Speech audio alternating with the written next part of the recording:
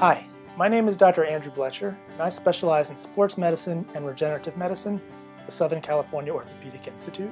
And I'm here today with one of my favorite patients to talk to you about stem cell therapy.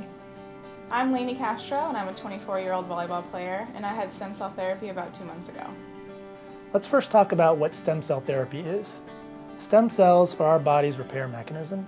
They live in our bone marrow and fat, and they travel to areas of injury to heal and repair damaged tissue. Unfortunately, there are certain areas in our joints, tendons, ligaments, and cartilage that have poor blood supply, and therefore the stem cells can't get to where they need to go to heal the damage. So the theory is that if we can put the stem cells there in high concentrations, then they can do what they're supposed to do and repair the damaged tissue. First, we have to harvest the stem cells from the bone marrow. And as you can see here, we are aspirating her bone marrow from the posterior pelvis. Many patients are anxious about this part of the procedure, but is usually much less painful than patients expect it will be. How was it for you, Lainey? I didn't really know what to expect um, with the bone marrow aspiration because I have heard it's quite painful. Um, but Dr. Blecher explained everything he was doing very clearly. He told me what it was going to feel like, and in all honesty, it really wasn't very painful. Once we have collected the bone marrow, we then centrifuge, concentrate, and isolate the stem cells in the lab.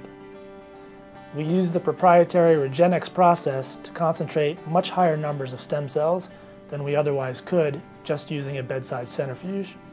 A bedside centrifuge may yield only about 10 to 20 million stem cells, but in cases such as Lainey, we were able to obtain over 1 billion nucleated cells.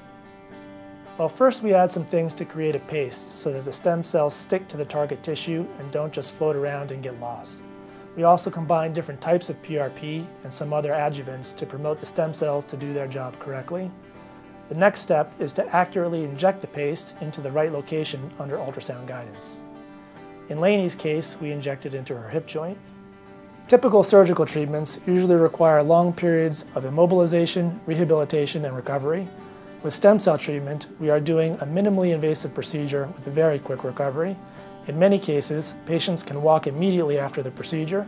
We can also usually get patients back to high levels of activity within two to three months after the procedure.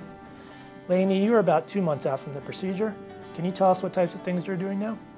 I've returned to work as an animal trainer, which is pretty physically demanding, so it's nice to be able to run around with the animals again. Um, I've also been able to get back to cycling, hiking, rock climbing, and I hope that in another month or two I can get back to other things I love doing like volleyball, uh, martial arts, and racquetball. And that's the biggest benefit to stem cell therapy in my opinion. As opposed to replacing a joint which may change the patient's lifestyle, we are attempting to naturally heal the injury and allow the patient to return to all of the sports and activities that they enjoy. Lainey is much too young to have to undergo hip replacement and hopefully we have now avoided her having to do so in the future. Lainey, thank you so much for joining us today to talk about this important topic. My pleasure.